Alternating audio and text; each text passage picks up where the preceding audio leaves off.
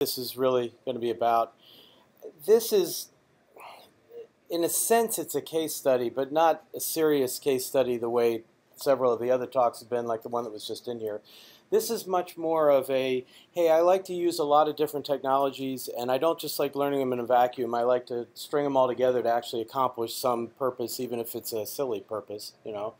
So I wound up with an idea, and I kind of followed it through to a to its somewhat bizarre conclusion.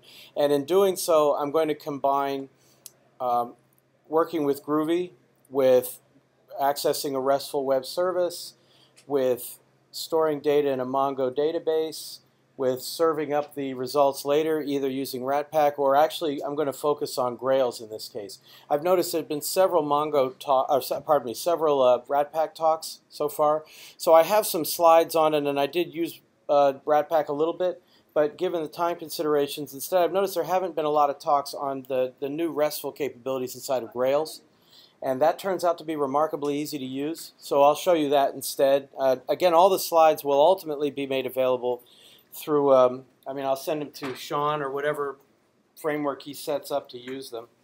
And then they'll be available to anybody whenever you want to see them. Uh, just looking for my pointer here. Yep, still got a few people wandering in. So I'll give them a moment.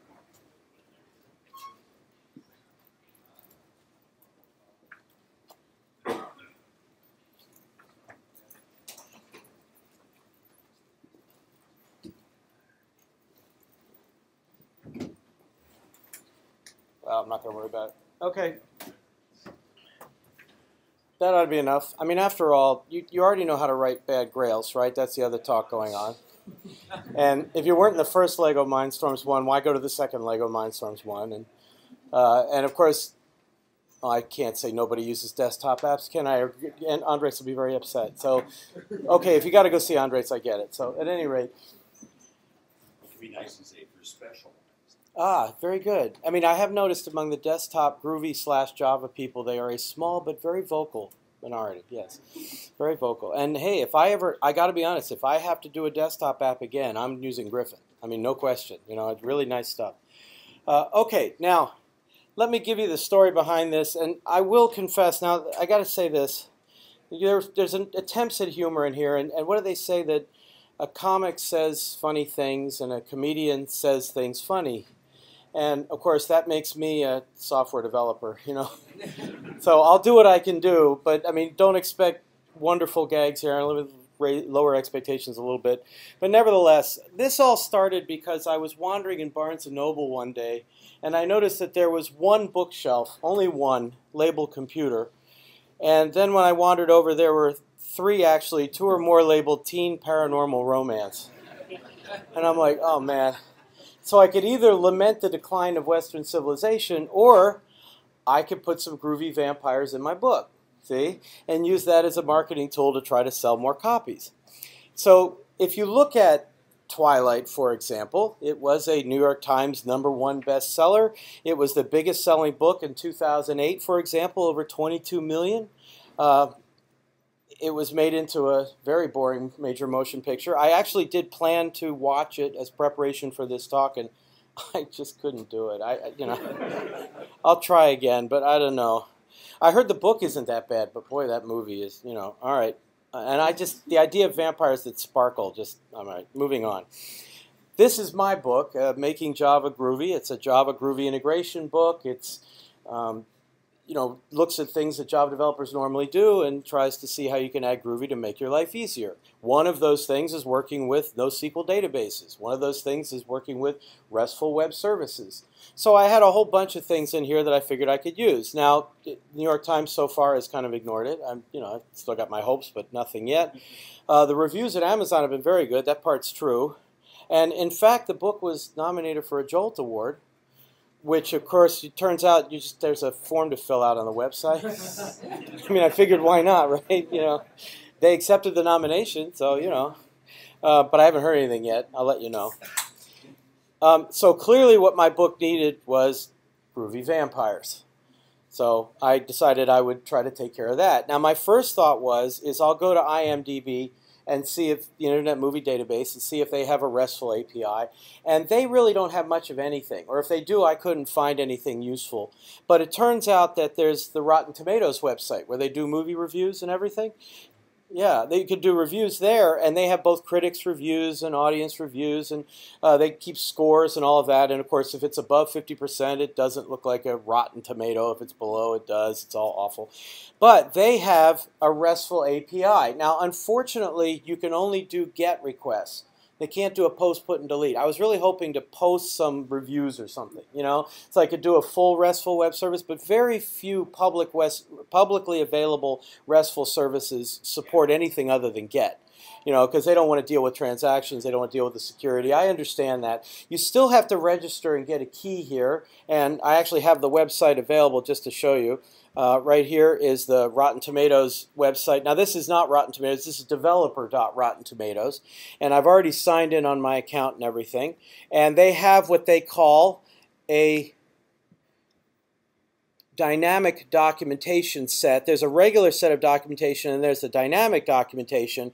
And with the dynamic documentation, there's my key if you want to copy that down really fast. You know, of course, it's going to be on video now. Oh well. Uh, you see that each of these is a, is a link and they're all JSON links. They all end in .json. So we're going to talk more about REST as we go, but for those of you who are familiar with it, of course, one of the principles of REST is content negotiation, where the client supplies some mechanism for saying what content they want, and normally these days that's done through an accept header in the request, but here they've wired it into the URL, and they only support JSON. There's no other content type they can have, so be it. And if I went down to the query down here, movie search, this is the URL for it, and you could put in your query, and I'll put in something like vampire.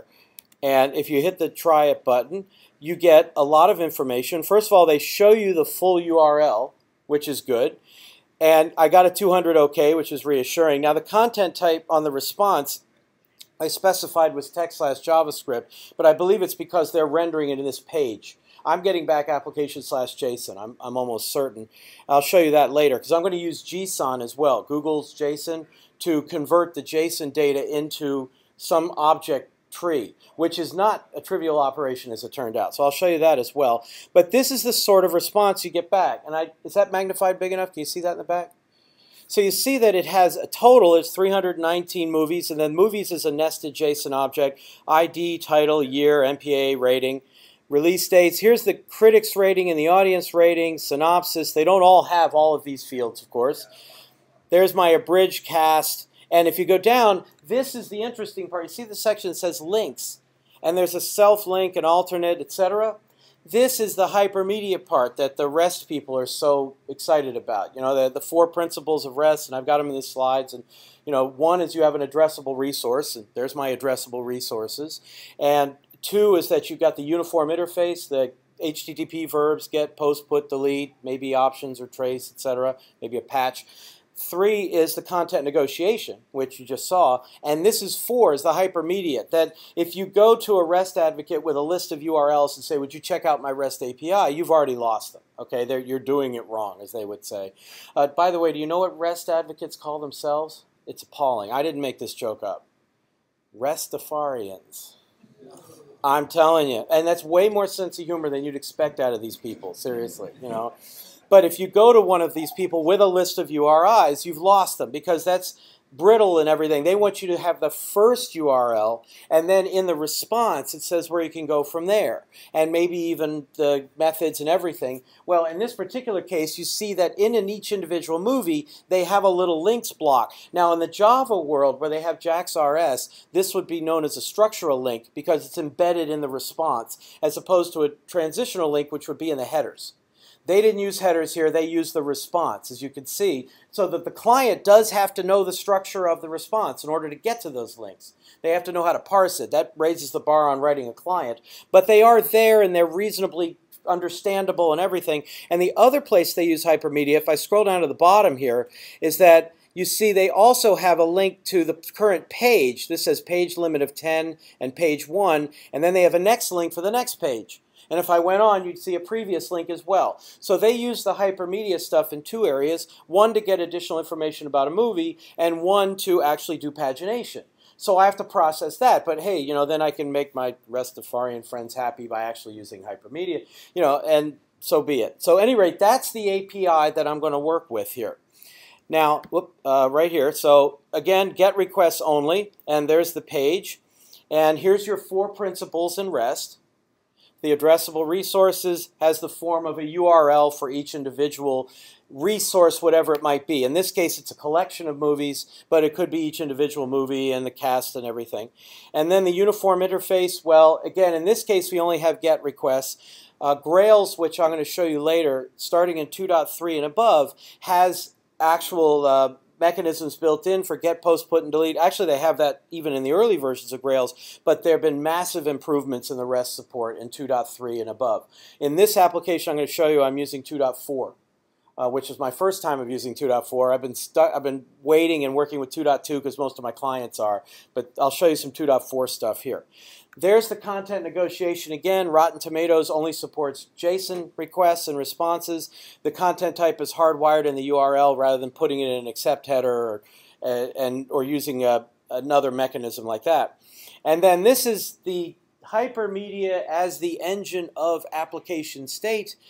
As, I've, as I always often call it, an unpronounceable acronym that has the word hate embedded right in it, you know?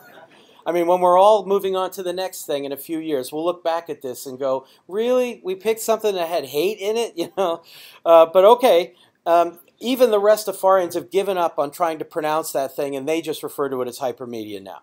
So I'll do the same. But in this case, in the one I'm working with, I have self links and next links and even previous links, although in my case I didn't really need it. My goal now is to do the query through Groovy, grab the JSON data, and go through it page by page, pull out the data, and then save it somewhere, persist it, and then I'll serve it up myself through an alternative server-based mechanism, in this case Grails. Although I'll talk about Ratpack a little bit as well. Now, to, to do an example, I went and searched for Blazing Saddles, and of course, Groovy has a the, the Groovy JDK makes doing GET requests absolutely trivial. You put in a URL, you go dot to URL because the string class in Groovy has been enhanced to have a to URL method which returns an instance of java.net.url, and, dot, and the URL class has been enhanced to have a get text method which of course you refer to as just dot text, and that does the automatic Groovy conversion to the get text method, and then it works. So in this case, I also need a query string. So if I'm going to build the URL, it's not just a base URL, I also have a query string. And here's a mechanism I use for this all the time. I tend to make a map. So I have a map here of keys and values. Key 1 is value 1, key 2 is value 2.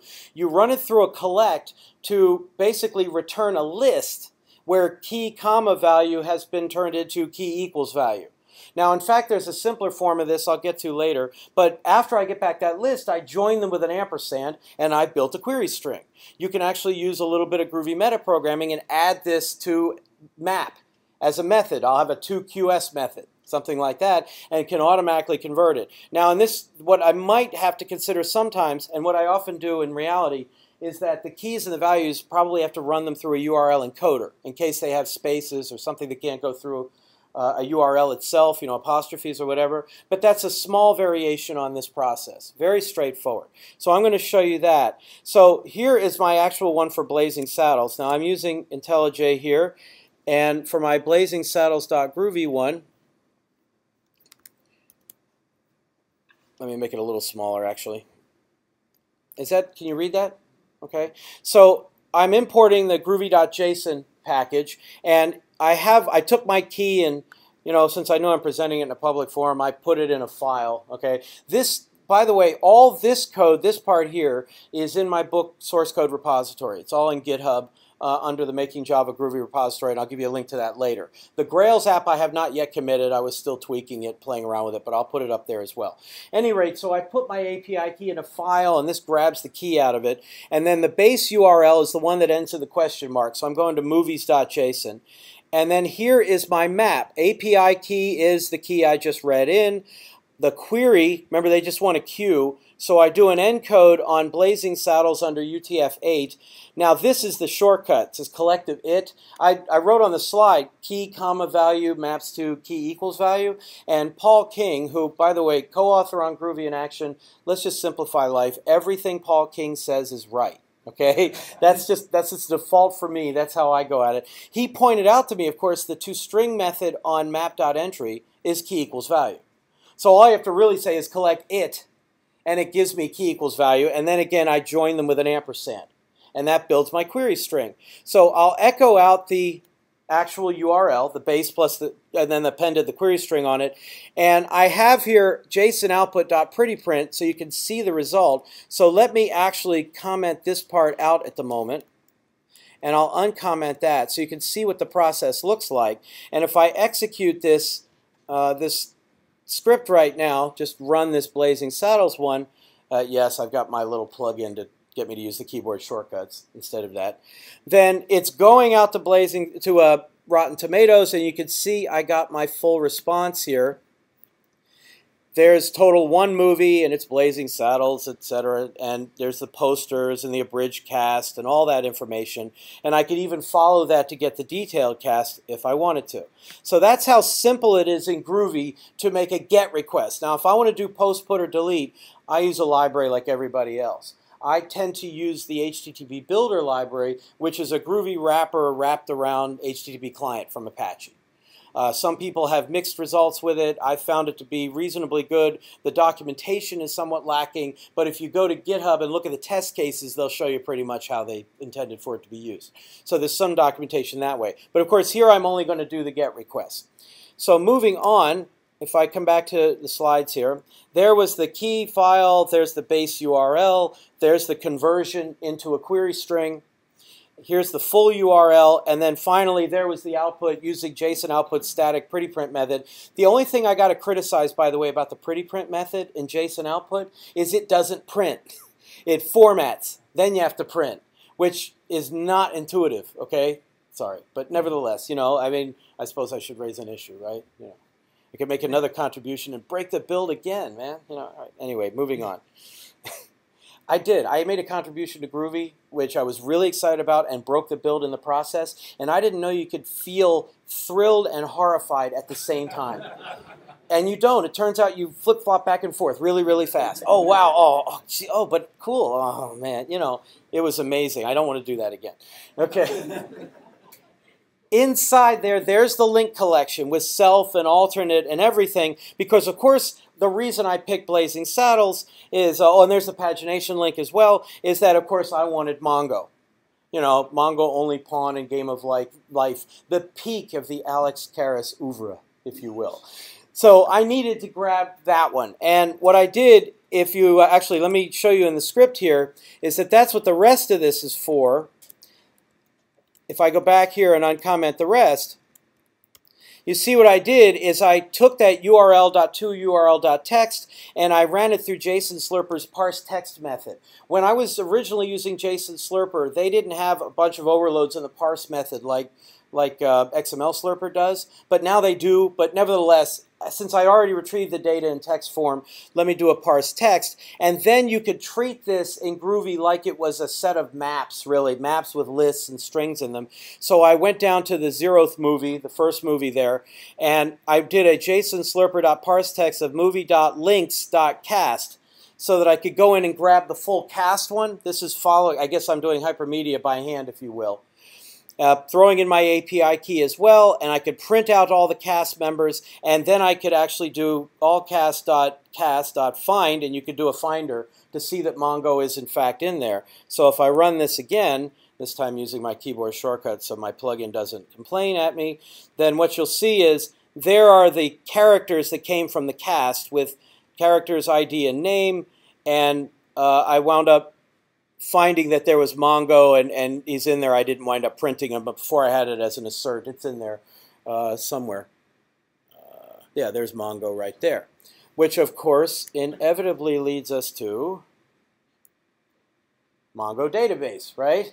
I mean, the idea is, is that all my data is in JSON form. And Mongo's perfect for this. There's the, the home page, there's the website for MongoDB.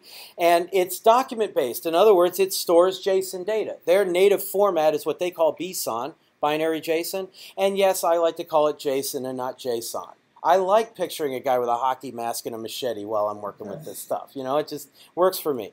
Uh, call it what you will. Any rate, it's open source. It's got full indexing. It's got search capabilities all in JavaScript. And there's a Java API which is kind of ugly. And then there's a Groovy wrapper which is the other benefit to doing this. So since, because my first thought was, is, oh, I grab this JSON data, now I want to persist it somewhere, and I start looking at mapping this to relational, and it started getting ugly fast. And then I thought, wait a minute, if I just use a Mongo database, persistence becomes trivial. So first of all, I don't think I started my server, my Mongo server yet. So I have it on this machine. I just type MongoD, and the daemon is currently running, and it's on port 1527. I think I can magnify that a little bit.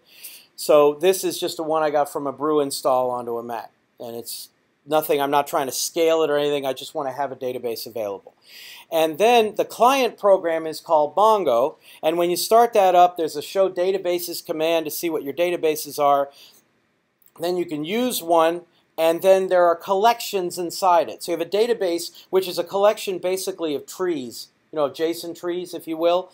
And inside a collection, then you can go to the collection. In this case, mine will be called Vampire Movies, and do a dot find and retrieve whatever information you want. Just to demonstrate that, if I open up another tab and I go Mongo here, and I'm show databases, as I said, then I have several. And if I use movies and I say show collections, and there's, I have other movies and vampire movies. And if I did say db.othermovies.find, I will get all of them. And I only have one. In fact, it's Blazing Saddles. That's where I'm going to put it.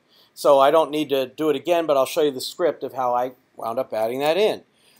So there is a Java driver available for MongoDB. And there's Java docs and everything. And it's just the, the, the overly complex, wordy, awkward Java that we've known to grow and love all these years. I, it's like I, you know, try to explain to my son it's that, my wife has endearing characteristics. They're not annoying. It's endearing. See, you know, again, Java, we, we like it. It's, it works out really well. Moving on. they have this class called Basic DB Object. Yeah, he never, he's never gotten that idea of if mommy's not happy, nobody's happy. I try to explain. But what if I'm not happy? Okay, you're not happy, you know, but whatever. Uh, we have a basic DB object which extends a linked hash map. Oh, that's intuitive. Okay, but at any rate, that's the class in the Java API.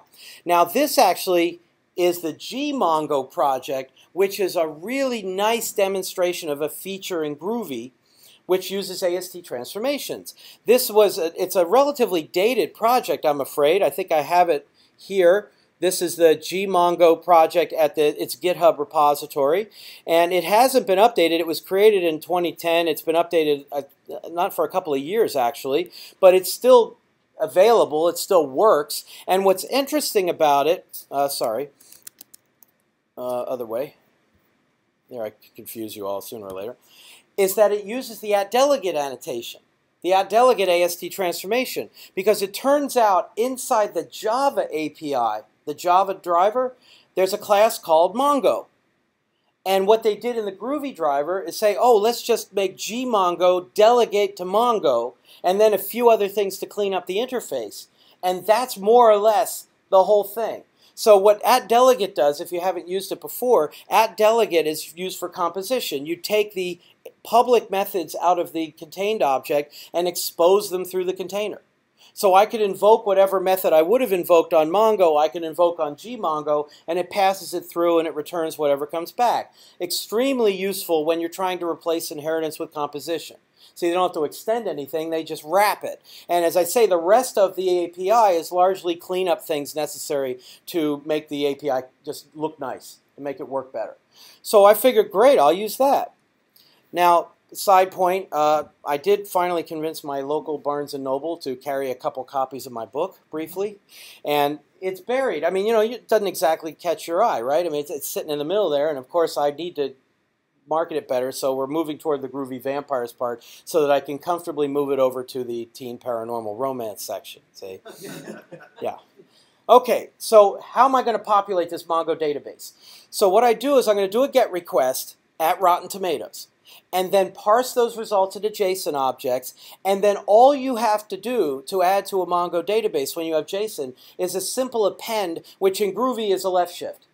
You just left shift the whole collection onto this collection object in Mongo and you're finished. I mean, it's that simple. But then, of course, I have to do the pagination stuff because I'm only getting 10 at a time. So here is the, the individual steps. I'll go through them here, but then I'll show you the script. So I do that same GET request, this time with a query being vampire, and I parse the results using the JSON slurper so that now I actually have uh, maps, if you will. And then I just go into the JSON object and grab just the movies itself and append them to the collection, the, the, the, Vampire Movies collection. And if that Vampire Movies collection doesn't exist, by the way, this will create it. And then I just have a while loop which says as long as, you know, I start up, I mean, this is maybe the one time in the last 10 years that I really could have used a do while loop. And you may be aware that's basically the only Java construct that doesn't work in Groovy. It's like that's where they drew the line. Sorry, we're not supporting do while loops. Okay, I, you know, uh, but here, so I, I get the next link right off the first one. And while there is a next link, I traverse to it. I parse that text, go to url.text, append the movies, and see if there's another one, and round and round we go. And I don't have to count how many or anything like that. As long as the response has a next link in it, I can traverse it and append all the movies there. Uh, by the way, in my book, I do actually have Groovy Vampires in there, so I'm not pretending that, you know, if I move it over to the other section, it really is there. It's not false advertising here. Uh, so looking at the script itself this time, in the script, I have my populate MongoDB from Rotten Tomatoes script here. And in this case, I instantiate my gmongo class. That's all that's necessary. The Gradle build file has the dependency on gmongo in it. And then I get the database called movies, and drop that, that collection. Get the slurper ready, grab my key, go ahead and get the initial, you know, do the collect to build up the URL, print out the URL, slurp the thing, grab the movies, and then here's my next, and there's the while loop, and I walk all the way through and count them at the bottom. And I'm not going to do that right now. I've already done it. As it turns out, there's, I think, 319 of them, something like that. Which, you know, so it takes not a long time, but a little bit of time, and I don't know, given the network in here and everything, you know, but I could run right through it, and I wind up with everything exactly where it says. So now, then, by the way, and just to just to show you over here, if I say uh, show, uh, let's see, wait a minute, db.vampiremovies.find. This is a JavaScript API, this interactive console. They'll give me the first 20 or so and then they say type it to get the next 20. But you can see each of these has an object ID. That's a Mongo thing. They assign an object-based identifier to it, but then there's abridged cast and an ID and links and MPA ratings, and yet several of them have missing fields. Now, Mongo's a schemaless database. I don't have to have all the fields in there at all. They did put in the fields. They just left them blank, although sometimes they're not there. This becomes an issue when you're trying to map to classes. Okay? So, but at any rate, I could do my queries right at this level in JavaScript if I wanted to. So the first thought was, is I want to map this to classes, and if you use a mapper like Gson, then it can be done, but it's a little awkward. I have a little script here that I want to show you.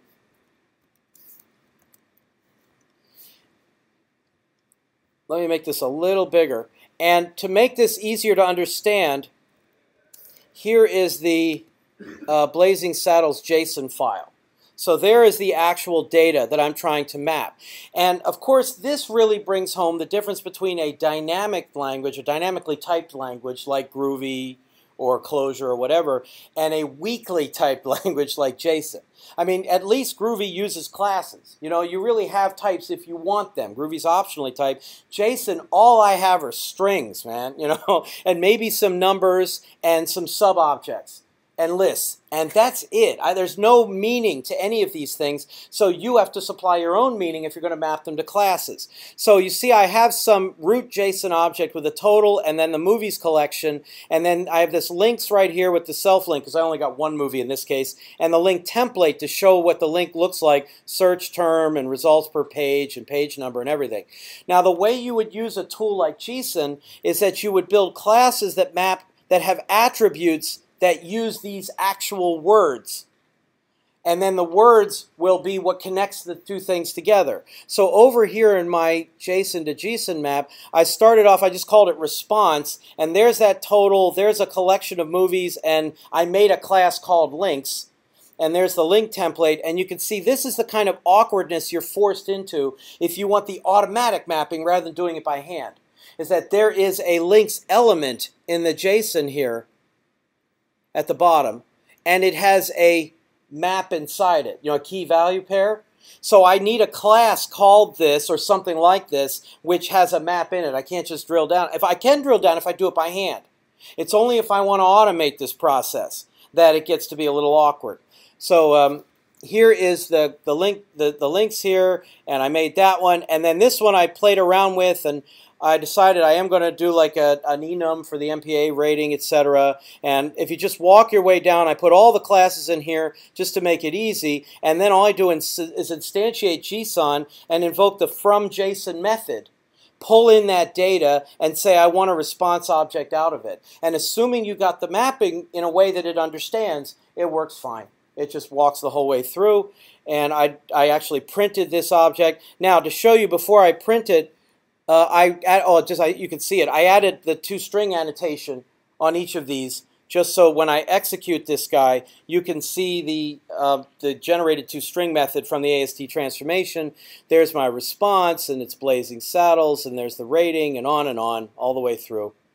You know, manageable, just not necessarily what I want on this. So that's one way to do it. An alternative is you could do a manual mapping. And in that case, what I did is I made classes called movie and cast member and MPA rating, and the rating representing the, the evaluation ratings, the review ratings, not the MPA rating, for the audience and the critics. And I put a static method in my movie class called from JSON. So here, if I go to, now this is not the same movie class, this is the I put it in a different package, pardon me. So here is my entities, and here's movie. And you can see now I've got all these pieces, and I put in a from JSON method, and then I could do my conversions, like let's convert that to a long, and there's the title, and this is an integer, and here's my switch statement for the ratings to get the enum in there, and sometimes runtime is empty, so I need to Elvis it against a zero. I like using Elvis as a verb, by the way. I always, you know, work with that. So I just did, if it's not zero, use it. Otherwise, put in zero. And sometimes it's an empty string, and this will take care of that. And on and on. I just work my way through building it myself. And then I put in my toString method up here, and that's what you saw the results of as well. Was Actually, that was a different toString method. But that works too. Okay. Uh, so see, now I, I moved it over, and I took a picture. It's sitting in the you know, teen paranormal romance section. There's the there's some of the Twilight books down here, and various other vampire books, which I you know I don't really know. I haven't not a huge fan of those. So, uh, but then I left it there, and I went on my travels, and I figured I'd come back in a month and see if it was still there. You know. Okay, moving on. So now I want to serve up the data locally, and as I say, I did build a Ratpack app and I, I don't want to go into that now because, as I say, you've got lots of other talks on Ratpack. But there's the website is ratpack.io. It's beautifully asynchronous based on Netty. It's got it has Java 8 support. I'm running Java 8 right now for all the things I'm doing. Uh, it's got dependency injection via Guice, although I don't I'm not using that in my app. I worked with uh, Peter Ledbrook's Lazybones project in order to make the app. All you have to do is say Lazybones create Ratpack and the name of the app and you could change directory into it and edit it, and it all comes out fine. I made a little vampire server. Uh, I could, I guess I should have called it Crypt or something. I didn't really think about that one. You know, I need a better name. But the server wraps the gmongo instance and then just pulls the data out of the database and serves it up. So think of it like a DAO for JSON data, if you will. And it maps the methods to HTTP verbs. That's the other beauty of Ratpack is that you could put in handlers for get, post, put, and delete right in the in the Ratpack script and works very nicely. Uh, so I use a get handler in ratpack.groovy and return the movie instances. And, and I also have tests in there, Spock tests for Ratpack, both just the thing by itself as well as the integration spec to make sure it's all working. And again, if we had another hour, I would get into that. But let me skip that right now. I will make the source code available. Instead, I'm going to go to Grails. But as my divider here, I, I was I planned to go back into Barnes and Noble when I got back, and I figured I'd take a post-it note. and I'd say, you know, Groovy Vampires, page 220, and put it on the book, and see if that would help it sell. You know. And I went in and I went over to the the uh, teen paranormal romance section, and it was gone. And I was like oh Oh my goodness, did somebody actually buy this thing? So I went over to the info desk, and they knew me by then because I'm always like, did anybody buy the book? You know, right? You know, cause, and they, they look it up in the system. I didn't tell them, by the way, that I moved it over to the teen paranormal romance section. I didn't know how they'd feel about that. And nope, there's still two in the in the building somewhere. You know, somebody moved it. So hoist by my own petard, if you will. You know, I thought, well, maybe I'll take the other copy and move it there. No, that's probably not a good idea. So, any rate, I had the plan anyway. Uh, moving on. Here's how do I serve this up using Grail's really cool REST capabilities now. Now, Grails has added in Grails 2.3 and above an annotation called at resource. And at resource will allow you to actually generate a controller from your domain class without writing any code at all. You don't have to write the controller at all. So I made a movie class. In fact, I took most of the classes I wrote for my entity mapping and I just made them domain classes in Grails, although I had to do some tweaking. I'll show you that in a minute. But I, in this case, I don't need an explicit controller because this really is just a, you know, a, a web-driven database, really. I'm just trying to serve up the data through URLs, if you will. So I also went in the URL mapping. So here, by the way, is the Grails application. And this is under Grails 2.4.1. So here again is my movie domain class. Now, I'm getting to this in the slides, but let me show you the fact that I'm using it with Mongo requires certain additions from the Mongo plugin. Now, before I get to that, here's my resource annotation for some reason, the resource defaults to XML. If you don't specify the content type you want back, it'll try XML first, and of course, it's rendering it using its own internal XML renderers. So it's not like I could say, don't give me XML. So instead, by putting in formats equals JSON first, I could go JSON comma XML. That way it'll use the JSON renderer before it uses the XML renderer. It'll prefer that one. Now, of course, the content type header from the request ought to specify. But nevertheless, by adding this in, I wound up with the type I wanted. And also here, here is my URL mappings. I added this line here to say slash movies resource says, there's a resource and a resource says. If you have only one and only one, you could do resource, but I have a whole collection. So I said resources, and this is the domain class it's going to. So just doing that actually gives me an awful lot of power. If I go to, uh, this is my shell where I actually have the uh, the group the Grails Vampires application re ready. If I now say Grails at this level, and I'm really I'm going to run it through IntelliJ, but I just want to show you something here using the interactive console. Uh, another thing, oh, and by the way, I have to use 2.4 if I'm using Groovy pardon me, let's say it this way. Since I'm running Java 1.8, I need to use Grails 2.4 because that includes the first version of Groovy that supports Java 1.8. So that's why all these layers are in here. So any rate, if I now say URL mappings report, I don't know if you've seen this, then it will look at that file it'll look at the URL mappings and it will generate a nice little output here. There's the traditional mapping. There's the error that goes to slash error. There's the assets mapping that's built in from that plugin, dbdoc built in for that plugin, and then here is my set of RESTful APIs that map to the individual actions inside of the generated controller. So you can actually see that if I do a get to movies, I'm like calling the index action. If I do a get to movie slash create, I'm doing a create action, oh, that's a little odd. I'd rather do the post to movies to do a save. See what I mean? And then there's puts, and there's they use patch for a partial update, and deletes down here for deletes. If I do get with an ID, that also is a show for that ID. Now, for a normal relational database, I may actually know the IDs or may know that they're consecutive or something. In Mongo, of course, that goes out the window because the IDs are these object IDs and they're very hard to follow. But you can always get this URL mappings report, and how cool is that? You know, very nice there. So let me get out of that, and instead I'll run it inside of IntelliJ. Uh, but actually, before I get it started, let me tell you about, well, there's the rest of it. There's the resource, there's the formats being JSON. Here's the URL mappings report, and there's the output that you get out of it. Uh, then I, I, throw in a subtitle here. You think that works? I'm trying. You know, still a better love story than Twilight.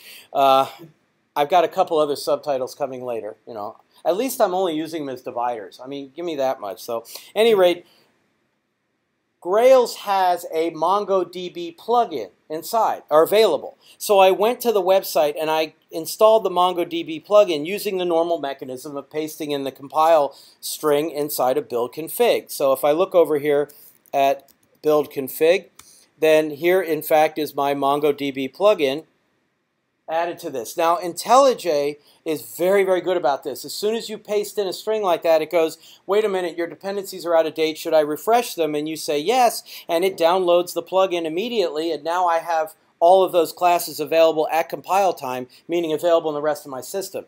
In fact, what I'm hoping to do with this, and I just didn't do it yet, is I could actually then build a service that goes to Rotten Tomatoes and downloads whatever movies you want and adds them to the database. It's just that at the moment I just wanted the vampire movies and I already had them in the database. So I'm just exposing them that way. So that leads me to how am I going to do this mapping? Now, to work with Mongo database, you have to add a class called object ID and make your ID of that type. Now, in a, all the examples you're going to see online are the real trivial examples where you have a JSON object which is one level with like three or four fields and they don't really get into it. What if you've got level after level after level? Now the documentation does talk about that, but there aren't a lot of good examples. It turns out, first of all, you put in this static mapWith field to say you're using Mongo in each of the classes. And then here's the, here's the part that makes it all work. I want the top level movie to be the one with the ID, and then the rest of it are all what we would think of in, in relational as embedded objects. They're just extra objects that share the same primary key as the movie. They're just parts of it. Now, I could rewrite this so that I could give those independent keys and find ways to query them, but my plan is simply to query for movies based on their properties. Like you do the dynamic finders in GORM, I'm going to show you a with criteria command, etc. And that's how I'm doing the queries. So what I did is I started at the top level with movie, and then for each of the child JSON objects, I made an embedded element in there and wrote a class for those that do not have object IDs in them. So then the other thing I did is in the data source source.groovy, you tell Mongo, I mean, tell Grails where to find your Mongo installation it may not have been strictly necessary in my case because it was all local, but this is the same mechanism you would use for a remote Mongo database. You'd put in your URL to the remote server, and I didn't need a username and password on any of this, but you could add that as well. There's my port name, and this way I could go directly to the proper database, and I'm all set. It's remarkable how easy it was to do the simple stuff. The, the complicated stuff threw, threw us a bit. But the simple stuff was really easy. So here is, uh, well, here, for example, let me, before I show you the query, here is movie inside here. And you can see there's my import of the BSON type with the object ID. And I'm working my way down. Dates, ratings, strings, posters, movie links. I know it feels uncomfortable using S's on those, but I really want to distinguish it from the real classes. And then here's my mapWith, and then I made all these pieces embedded. There's my posters, links, ratings, release date, abridged cast. Bridge cast was a has many. Just decided to set that up separately. And then you can also put this in. I don't know that it was strictly necessary after doing the deep database, the data source mapping, but it didn't hurt anything. I said this one goes to the movies database in the Vampire Movies collection, and I don't have a version key, you know, which is something I always forget to say. Uh, but if I go to cast member here, for example, you'll see that this has just ID and name, map with Mongo. This has has many characters, but those are strings. That's the embedded one as well. And again, all of those follow the same pattern. All the nested ones just have the embedded mechanism in it. So to illustrate that after doing this, how easy it is to use GORM in this case, then I actually made a script here. Let me do what I would normally do, and I will start up the what says Groovy console, but of course we know is the Grails console.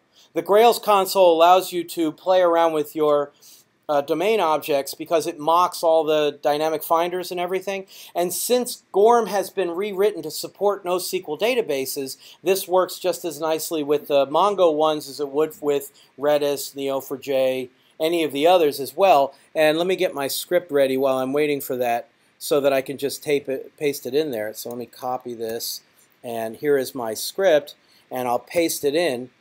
And let me make this bigger so you can see it. So I did a with criteria call on movie, and if you've ever done this with domain objects, regular domain objects, since ratings is a child element, is a has many on movie, I could just say the word ratings to make a nested query, and I'm saying give me all the movies that have a critic score greater than or equal to 50. I'm just leaving out the optional parentheses here. And I'll order them by critic score descending, and I had to do it because I'm outside the ratings block. I had to traverse the, the map to get to that. And I only want the top 10. I'm basically saying what are the top 10 critic score movies in this collection. And then for each one, I'll print out the score and the title. And when I execute this, uh, these are the results I get. And there's a 100. I, I'm just blown away by that one. I may actually have to watch that or something, you know. And there's the various ratings, and you can see these in here. And the only criticism I have is I don't see Buffy in there anywhere, and you know, got to have Buffy in there, right? Uh, and of course, uh, the each method returns the collection, and I put in a toString method on movie just return the title. That's why you're seeing that big block at the bottom. This is the actual output I want. But notice that with this mapping and with this plugin, I have GORM. I mean, I have the dynamic finders, I have the with queries, all of it. So I can check, well, all right, maybe I don't want critic score. Let's look at audience score. And I'll order by audience score. Now I do need to know, again, I do need to have an attribute named critics underscore score, or I have to do some additional mapping somehow. This was just much easier, was to go with what the database had. Um, I'd order them by audience score, but maybe I won't. So audience score and you know what I'll do is I'll put, uh, let's put some parentheses in here. I'll do the audience score, comma, dollar m dot ratings dot critic score as well. And then the title after that. And by the way, you notice I could put curly braces around this whole thing. But because it's just invoking getter methods on the way down, it turns out I don't need it. Now, I wasn't sure I didn't need it, but if I'd gotten any error whatsoever, I just would have put the braces back in. You know, I don't try to diagnose stuff like that. I just, I know what I did. And you see a lot of them, they don't have any, the ones that the audience liked, the critics didn't rate. so go figure. Because a minus one is a critic score that's, that's not in there at all. Uh, so Kung Fu Vampire Buster, or I mean, you know, hey, I did a query on Star Trek once, and there was a movie called Star Trek versus Batman.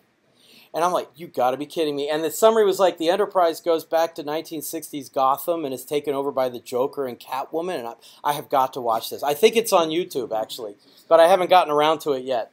But at any rate, this is how easy it is to do, to serve it up now. And the other thing, of course, is by putting in the at resource on there, now I can go back here and say something like, let me make this uh, a little bigger again, is I can do a curl request. So let me clear here. Oh, I got to start my app. So I didn't start the server before.